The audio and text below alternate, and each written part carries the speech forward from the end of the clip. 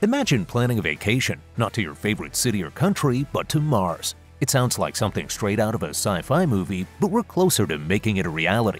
Elon Musk, the founder of SpaceX, has ambitious plans to send humans to Mars. He's announced that starships will launch there as soon as 2026, sooner than you might think. But SpaceX isn't the only player in the game.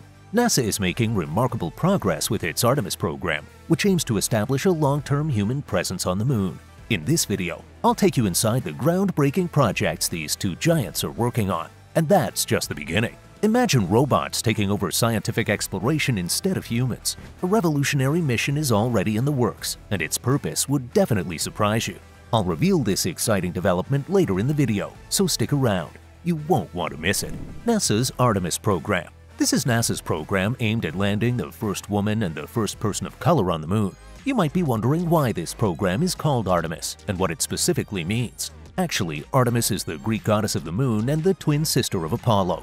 NASA chose this name to connect the program to the Apollo missions, which first took astronauts to the moon. On May 25, 1961, U.S. President John F. Kennedy announced the big plan of landing a man on the moon. However, as we all know, things are never as easy as they seem, especially in rocket science. Kennedy aimed to achieve this milestone before the end of the decade, but various political factors influenced the timeline. Despite these challenges, the efforts paid off when NASA's Apollo 11 mission successfully landed the first man on the moon in 1969. You might not remember the exact name of the mission, but you almost certainly know the name of the first person to walk on the lunar surface, Neil Armstrong. Did you know that he retired from NASA just one year after Apollo 11? His achievement undoubtedly made history. Now, if we talk about NASA's new lunar exploration program, the agency plans to utilize advanced technology to study the moon in greater detail and eventually prepare for Mars exploration. You might be wondering whether this program primarily focuses on the moon or Mars. Let me clarify. NASA intends to use the moon as a stepping stone toward its ultimate goal, Mars. Establishing a strong presence on the moon will allow scientists to better understand the advanced tools and technologies needed for future complex missions to Mars. It's fascinating to note that the technology NASA developed for its early missions has now become a part of everyday life on Earth. The agency is now working with various companies to modernize technology for the Artemis missions. You can imagine the benefits that come with the creation of new technologies. It not only advances space exploration, but also boosts the economy. Businesses can generate more jobs, ultimately helping to resolve economic challenges. NASA's vision for the Artemis program also includes collaborating with other nations to explore and access Earth's closest neighbor in space, the Moon. Now, the most important question arises. What spacecraft will NASA use for this program? NASA's new rocket, the Space Launch System SLS, is the answer. It is the most powerful and capable rocket the agency has ever built, designed to enable faster and more efficient space missions. According to the latest information on NASA's website, the SLS will be capable of launching four astronauts into lunar orbit. After completing their mission, the crew will return to Earth aboard the Orion spacecraft. This is truly fascinating. Once this vision becomes a reality, we will witness a real-life story featuring many unexpected twists and turns. It would be hard to say whether it's science fiction or reality.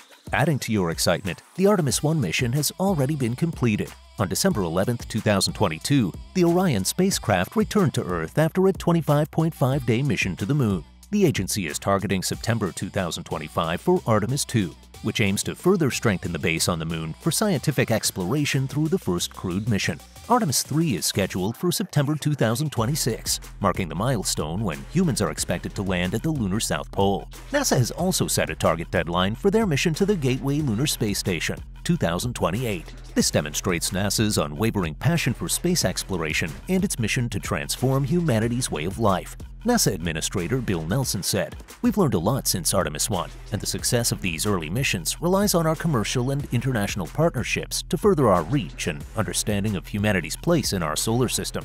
Artemis represents what we can accomplish as a nation and as a global coalition. When we set our sights on what is hard, together we can achieve what is great. While NASA's Artemis program is one of a kind, there are other projects that deserve significant attention as well, especially how SpaceX's Starship aims to redefine space travel. Before we dive deeper into this fascinating exploration, I'd like to remind you to subscribe to ProjecTalk. I have a list of exciting mega projects to share with you, just like this one. You won't want to miss these groundbreaking and mysterious innovations. SpaceX Mars Program SpaceX has claimed that its Starship is the most powerful launch vehicle ever introduced worldwide. The company is focused on developing a fully reusable transportation system to revolutionize space travel, enhancing both speed and efficiency. If you search the world's most powerful launch vehicle on Google, Wikipedia will most likely highlight Starship at the top of the results. According to current information, Starship is designed for long-duration interplanetary flights, carrying up to 100 people. On January 16, 2025, CNN published an article titled New Generation Starship Set to Push Boundaries in Highly Anticipated Launch. As the title suggests, the article highlights SpaceX's dedication and ambition to send the first humans to Mars. The company has consistently pushed boundaries with every Starship flight test. The latest mission of the Starship rocket, which stands nearly 400 feet 121 meters tall, aims to advance efforts to return astronauts to the Moon and ultimately fulfill Elon Musk's vision of transforming life on Mars. According to my analysis, Elon Musk doesn't see this as just a business. Instead, he views his company as a gateway to turn his personal dream into reality. To achieve his bigger dream, he has introduced distinctive styles and innovations in the reusable transportation system. This includes orbit refueling and utilizing natural H2O and CO2 resources on Mars to refuel on its surface. NASA has offered SpaceX $4.5 billion to work on Starship and finalize two crewed lunar landings, expecting the first to take off as soon as 2027. Imagine you have a trip to Mars or even move there permanently. You raise your children there, telling them about your life on Earth. The concept of dying on Mars is also intriguing. What do you think? We could only watch these kinds of travels in cartoons in our childhood in the past or later in movies. Now, SpaceX and NASA are setting real-life expectations for unbelievable adventures. However, these two companies might not be the only two. Other countries may have mega plans with their own lunar ambitions to compete with the rapidly transforming world. China has revealed its plan to build a moon base at the lunar South Pole. In 2021, it collaborated with Russia to announce the International Lunar Research Station. Then, according to further reports, China has offered to collaborate with other countries to expand the project. The project is divided into two phases. The first, planned for completion by 2035, includes robotic construction and the establishment of a basic base. The second phase, set to be completed by 2050, envisions an expanded version of their plan. Now, I'm about to reveal the surprising detail I mentioned at the beginning. According to recent reports, China aims to send a flying robot to the far side of the moon next year to locate frozen water.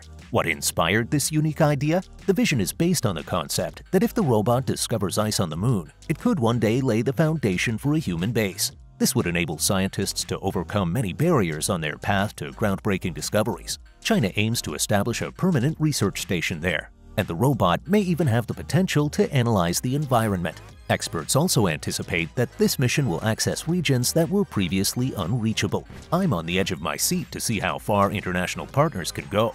I'll be sharing any exciting updates with you, so please remember to subscribe to my channel. Let me know in the comments if you have any questions about the projects we discussed today. The construction and technological advancements in the space industry are truly fascinating to explore. This becomes even more intriguing as we discuss future projects and set our own expectations, eagerly awaiting what unfolds.